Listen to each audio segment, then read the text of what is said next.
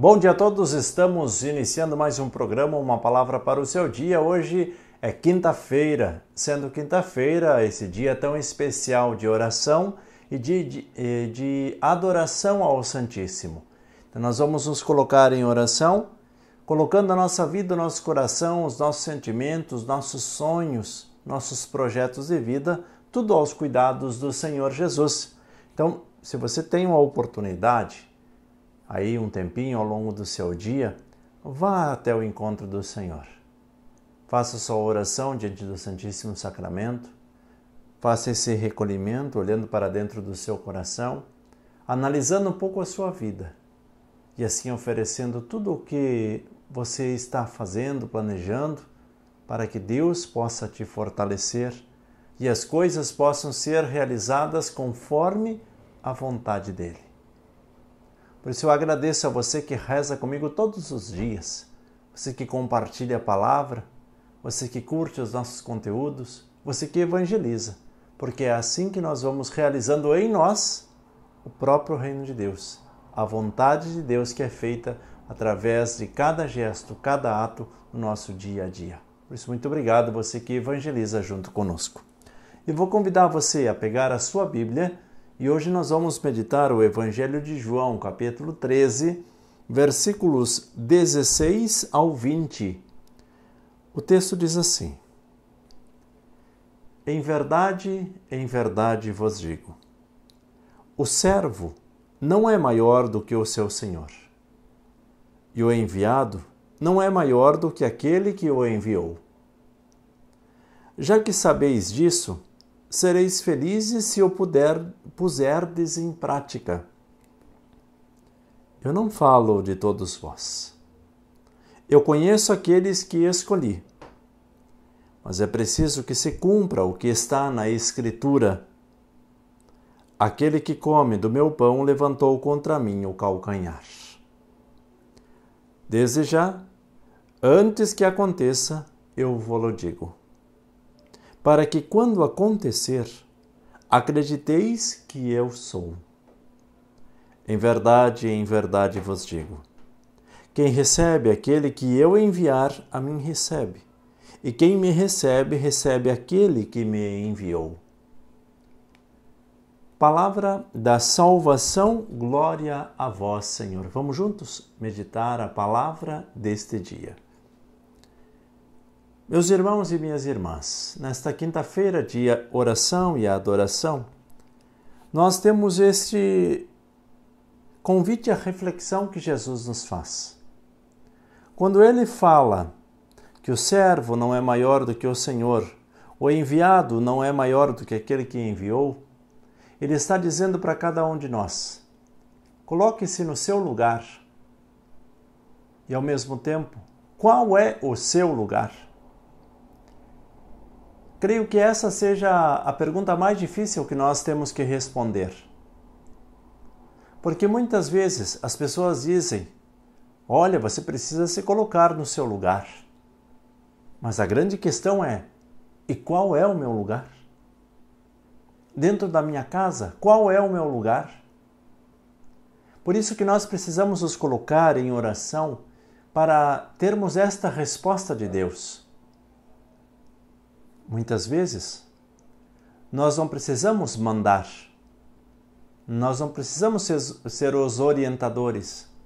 Às vezes, nós apenas precisamos ir conduzindo com amor cada segundo, cada instante com os nossos familiares. Assim também dentro das empresas. Quando nós temos um grupo bem formado, um grupo que olha para o mesmo objetivo, aquele que conduz não precisa dizer faça isso, faça isso, deixe de fazer isso e faça isso. A própria pessoa com a consciência, ela já vai saber o que precisa fazer e deixar de fazer. É isso que Jesus quer para nós no dia de hoje. Nós precisamos encontrar o nosso lugar, o nosso espaço e assumir as nossas responsabilidades. Você, como pai, o que precisa fazer? Você, como mãe? Você, como gerente de, de empresa, o que você precisa fazer? você como um funcionário. Precisamos encontrar o nosso lugar. Repito, o servo não é maior do que o seu senhor.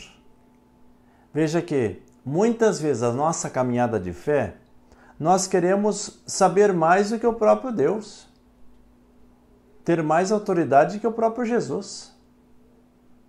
Ah, não, se é, é assim, então eu não quero. Quando nós falamos e pensamos assim ou agimos assim, nós estamos nos colocando acima do próprio Deus. Quando nós temos Jesus como esse mestre e senhor, nós precisamos ouvir a sua voz e com humildade acatar a sua ordem. Nós precisamos ser obedientes à palavra de Deus. E aí o texto vai continuando e vai nos ensinar dizendo: Desde já antes que aconteça, eu vou-lo digo, para que quando acontecer, acrediteis que eu sou. Em verdade, em verdade vos digo: quem recebe aquele que eu enviar, a mim recebe. E quem recebe, recebe a... quem me recebe, recebe aquele que me enviou. Aqui vem a outra questão.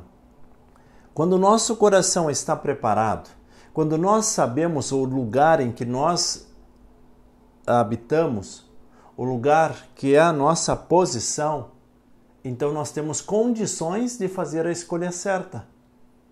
Olhamos para o contexto em que viveu Jesus Cristo. Quem eram as pessoas que rejeitavam Jesus?